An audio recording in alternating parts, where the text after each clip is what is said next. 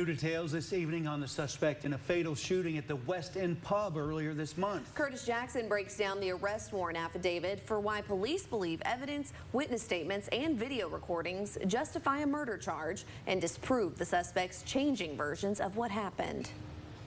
Wichita Falls police say they have seen evidence, multiple video recordings, and witness statements to justify a murder charge against 20 year old Marcus Fonseca. Evidence which contradicts statements the suspect made in Wichita Falls and Dallas hospitals about how Giovanni Caesar was shot in the head in the early morning hours of September 14th. Fonseca is jailed with a $750,000 bond. Detectives say Fonseca changed his statements at different times.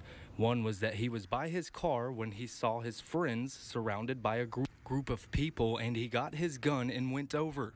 He said he was confronted by a black male and he tried to back away, but when the man pulled a gun, he shot him. In another statement, police say Fonseca said Caesar made multiple threats and pulled a gun and shot him in the leg, and that's when he fired his own gun. But police say videos, evidence, and witness statements show that Fonseca was not shot when he was near Caesar, but where he ran to an adjacent parking lot and got in a gunfight with other unknown subjects. They say only one gun flash was seen on video when Caesar was shot, and no other guns are seen there.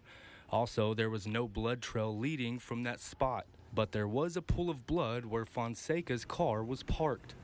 Also, more spent shells of the same brand he had in his gun were found in the parking lot.